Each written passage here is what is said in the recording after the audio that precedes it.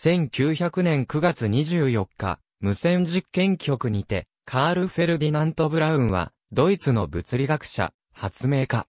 電位計やオシログラフ、そしてブラウン管の発明など電磁気学及び、無線通信の分野に多大な業績を残した。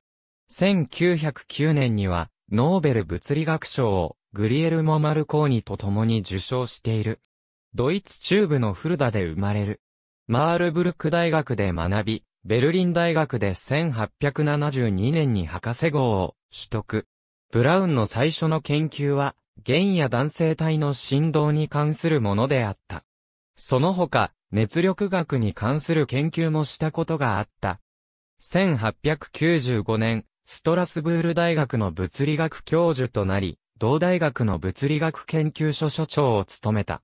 第一次世界大戦が始まると、ブラウンはアメリカが参戦する前に、アメリカ合衆国に行った。ニューヨーク州、セービルに、ドイツが作った無線局をイギリスの支配下にあるマルコーニ社の手から守る支援を行うためである。アメリカが参戦するとブラウンは帰国できなくなり、ニューヨークのブルックリン区内のみを自由に動けるという立場に置かれた。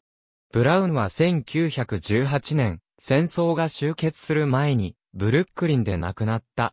彼の最大の業績は、電気工学に関するものである。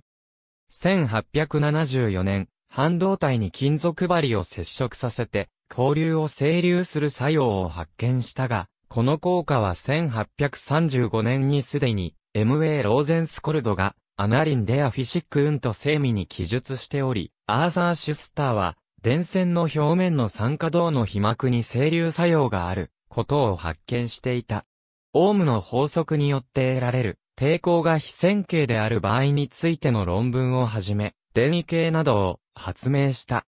1897年、最初のブラウン管とそれを使ったオシロスコープを制作。約100年後の2000年代になって、液晶ディスプレイ、発光ダイオード、プラズマディスプレイといったディスプレイ装置が徐々にとって変わるようになるまで、ブラウン管はテレビやコンピュータの表示装置として使われ続けてきた。無線通信黎明期のこの時期、ブラウンも無線電信の研究に専念するようになった。1898年頃、鉱石検波器を発明。グリエルモ・マルコーニはそのブラウンのイギリスでの特許も使用し、後でブラウンの自己承諾を得ている。ブラウン自身は高周波電流によって水中でモールス信号を送る実験や、電波に指向性を持たせての発信、受信実験を行った。1909年には、マルコーニと共に、無線電信の開発に寄与した功績を認めて、ノーベル物理学賞を受賞した。ありがとうございます。